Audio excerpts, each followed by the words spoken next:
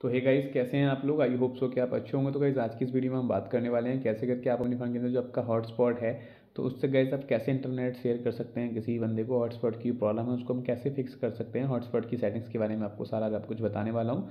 तो gas video अगर आपने अभी तक लाइक नहीं की तो वीडियो को लाइक कर दें। चैनल सब्सक्राइब नहीं किया तो प्लीज़ चैनल को सब्सक्राइब कर लें। सिंपल सिंपल स्टेप्स में आपको देखने और फॉलो करने तो चलिए गाइज़ हम वीडियो को स्टार्ट कर ही देते हैं। सबसे पहली बात गाइज़ आपको जाना है अपने फ़ोन की सेटिंग के अंदर। तो गैस हम सेटिंग के अंदर चलते हैं। सेटिंग के अंदर आप जाएँगे तो यहाँ पे एक ऑप्शन मिल जाएगा आपको गैस जो कि है कनेक्शन एंड शेयरिंग का। तो कनेक्शन एंड शेयरिंग को क्लिक करना है। क्लिक करने के बाद कैसे यहाँ पे एक ऑप्शन मिलेगा मिलेगा आपको पर्सनल हॉटस्पॉट का तो इस पर आपको क्लिक करेंगे। तो गैस एक्चुअली पर्सनल हॉटस्पॉट क्या होता है? इसकी मदद से हम सिंपल तरीके से सामने वाले बंदे को इंटरनेट प्रोवाइड करा सकते हैं अपने फ़ोन की मदद से। तो इसको हम यहाँ से इनेबल करेंगे। इनेबल करने के बाद गैस यहाँ पे हमारा ये इनेबल हो जाता है और यहाँ पे हमारा देखेंगे तो गैस हॉटस्पॉट सेटिंग से आपके हॉटस्पॉट का नाम, अपने फ़ोन का नाम आ सकता है यहाँ पे। पासवर्ड आपने देख रखा है। पासवर्ड अपने हिसाब से आप रख सकते हैं। कोई भी आपको आपको रखना हो तो नाम चेंज करना हो, कर सकते हैं। पासवर्ड चेंज करना हो, कर सकते हैं। ठीक है?